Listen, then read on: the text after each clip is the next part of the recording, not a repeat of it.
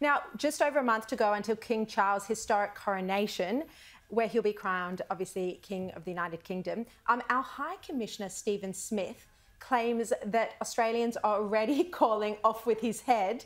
Um, the, and he is an avowed Republican, but he says it's inevitable that Australia will scrap the monarchy and become a republic.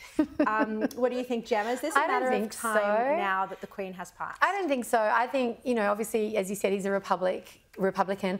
I think the Australian Republican movement is on life support. It's not a particularly healthy organisation. It's certainly not um, uh, an influential organisation. It's seen as a cause, I think, most Australians are a, bit indifferent to it. Like I, am not a, a, monarchist necessarily. I'm indifferent. Like if it's not broken, don't fix it. There are bigger issues facing this country, and I think the, the political and the historical stability that the monarchy provides Australia shouldn't be just thrown out um, whether or not Mr Albanese puts King Charles on a new $5 note or not. Well, I mean, Aaron, you know, clearly the Albanese government is, is tackling the referendum on the voice and Indigenous recognition this year, but you'd think a referendum on um, whether we should be a republic will come next in the next parliamentary term should he be re-elected.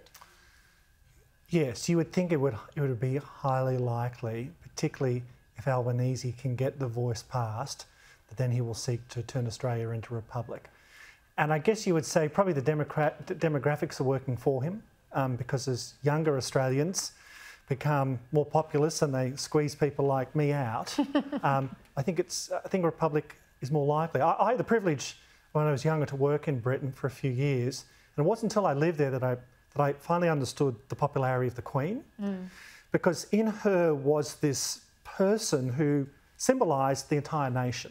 Okay, and she was she was a way to for people to feel proud right. about yeah. who they were in yeah. a way that an inanimate object can't.